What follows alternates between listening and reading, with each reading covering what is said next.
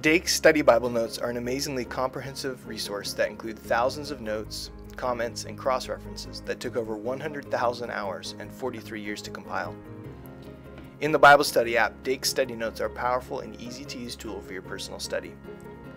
Like most study Bible notes in the app, they're easily accessed in the resource guide.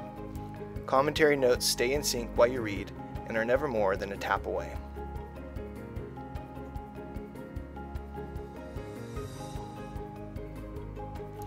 You can also access great outlines for each book of the Bible.